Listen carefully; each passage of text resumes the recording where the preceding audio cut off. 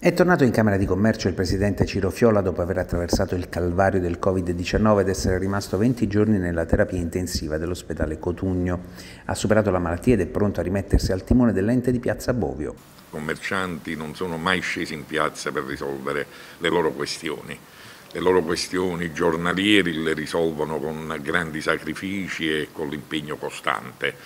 Eh, quale, quale doveva essere la casa dei commercianti? dovevano essere le associazioni datoriali sul tavolo istituzionale, che in Regione non è mai mancato.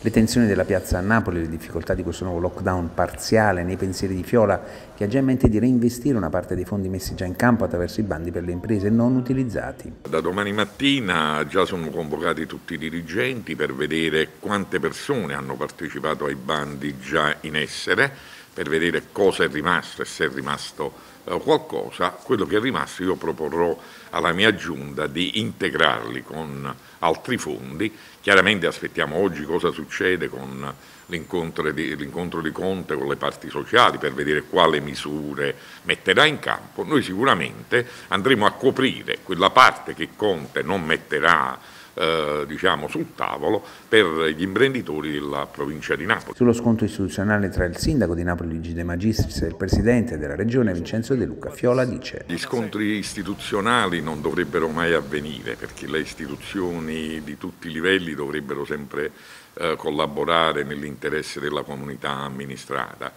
Uh, ho notato, nonostante ero in ospedale, che questo scontro si è accentuato in questo periodo sforando quello che sono i binari istituzionali.